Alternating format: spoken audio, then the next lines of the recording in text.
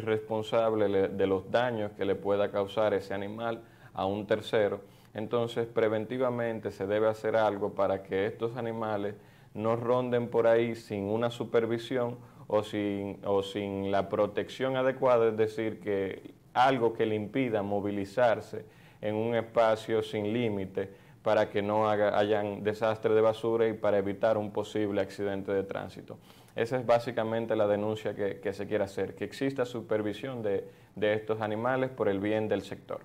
Por otro lado, y ya Sandy veo que había abordado un poco el tema, eh, me parece sumamente interesante y novedoso este escenario, el tema migratorio, para hablarlo en un grosso modo. El presidente hoy toma unas medidas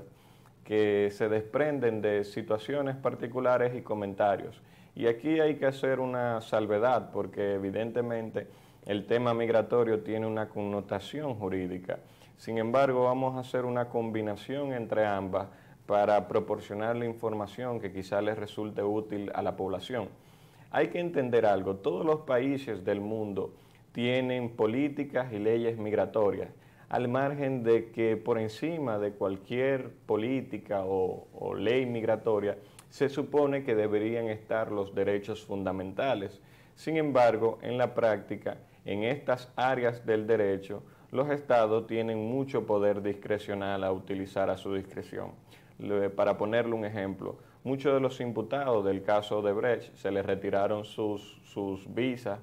o su residencia, si la tuviesen, su documento para viajar a los Estados Unidos sin que se hubiese agotado un proceso legal que determinara que estas personas eran culpables. Es decir, y eso se debe a que los Estados Unidos tienen la autoridad, la potestad de decidir, incluso de cierto modo hasta arbitrariamente, quiénes entran en su suelo y quiénes eh, se le va a negar ese, ese acceso. Y aquí hay un tema mucho más delicado todavía, porque creo que la matiz de todo es que esta nueva era digital permite la difusión masiva de mensajes de odio y realmente los mensajes de odio tienen, pueden tener una repercusión social real, ya que si una persona con suficiente incidencia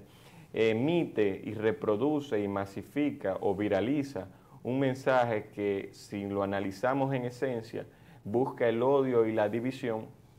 y la polémica a su vez, pues evidentemente eso puede impactar de manera negativa en la seguridad ciudadana y afectar al orden público. Y hay que tomar en cuenta algo, nada está por encima del bienestar de toda una comunidad, nada está por encima de la seguridad del Estado y nosotros somos parte de, ese entramado, de esa organización, somos parte del Estado, de lo que significa la República Dominicana. Y creo que ha sido una medida preventiva frente a personas que han emitido mensajes de odio que quizás tienen cierta incidencia en la gran cantidad de población de esa nacionalidad que se encuentran en el país. Sin embargo, las personas deben entender, y, con esto hago un paréntesis, y es que yo no soy ni pro haitiano ni una persona que está totalmente en contra, ya que independientemente de las nacionalidades e ideologías que pudiesen dividirnos, una condición base que nos une es la condición de seres humanos. Y hay que entender que si la República Dominicana estaría en una situación crítica, pues sería normal que la mayoría de, su población trate de ir a un lugar donde le pueda ofrecer mejores condiciones a él mismo o a sus familiares que están por debajo de él, dígase sus hijos. Sin embargo, eso no puede hacer que los países y más países con estas condiciones eh, asuman o dejen eh,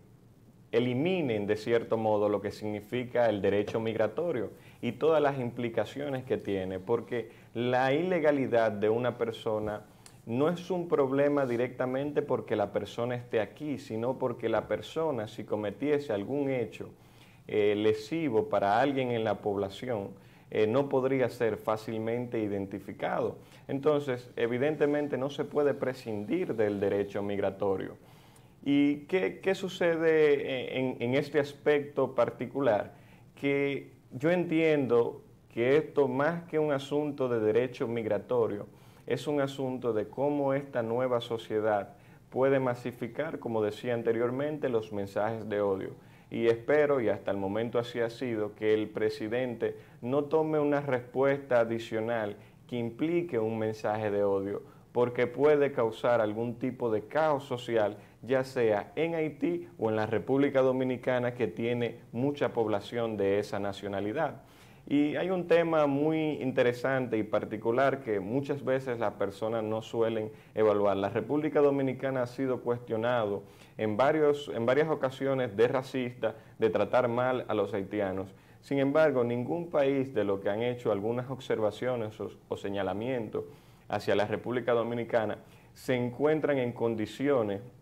óptimas para asumir esa situación. El problema de la inmigración es un problema pendiente de resolución a nivel mundial. Para que tengan una noción, en Europa existe lo que son centros de refugiados. Los centros de refugiados es que en algunos países o en gran parte de lo que conforman la Unión Europea, Europa, a raíz de los conflictos que están a su alrededor, recibe personas porque estas personas están en necesidad. Sin embargo, no las reciben como se hace aquí en la República Dominicana que es sin mayores restricciones y sin negarle directamente eh, en muchas ocasiones el derecho a que el hijo que produzca esa persona que llegó al territorio eh, mantenga el mismo estatus que el padre. Sin embargo, en Europa la situación es la siguiente. Si una persona busca asilo por una situación económica, de guerra o de una connotación similar,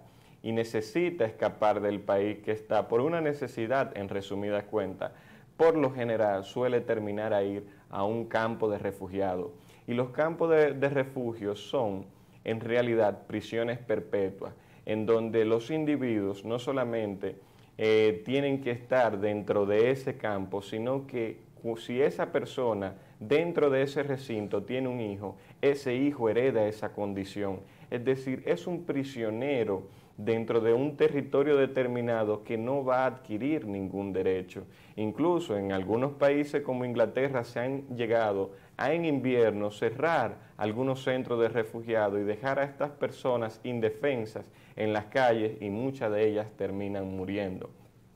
También eh, eh, Estados Unidos tiene sus políticas migratorias y aquí hay un tema interesante. Si bien es cierto tenemos el ideal el respeto de los derechos fundamentales, el buscar ser ciudadanos del mundo, porque a fin de cuentas somos seres humanos todos, no menos cierto es que la realidad puede ser distinta. Hay investigaciones, y esto no es un criterio personal, esto es una investigación de uno de los últimos premios Nobel de Economía, que establece que genera una mayor polémica eh, cuando un país recibe inmigración masiva que no sea calificada. Es decir, ¿por qué se da este, este caso? Eh, porque el país que recibe a estas personas lo ve como una carga. Y aquí se ha hablado en muchas ocasiones de la carga económica que suponen los partos de personas, de mujeres de nacionalidad haitiana en la República Dominicana. Sin embargo, esta situación no pasa quizá con venezolanos que también han aumentado eh, su presencia en la República Dominicana no por su color de piel, sino porque por lo general la inmigración venezolana es una inmigración calificada, es decir, son personas que incluso pudiesen tener más capacidades intelectuales que los mismos dominicanos y que constituyen o se visualizan como un aporte de la sociedad y lo podemos ver con que muchas de las plazas lujosas que tiene este país o los malls lujosos que tiene este país, o por lo menos algunos de ellos, son de inversión venezolana. Es decir, no, no es por un asunto de color de piel, es por un asunto de calificación. Lo mismo pasa en los Estados Unidos. La inmigración de mexicanos no se percibe igual que la inmigración que pudiese venir de Italia o de otros países desarrollados y eso se desprende íntimamente de la relación entre sus capacidades, es decir, la persona que estoy recibiendo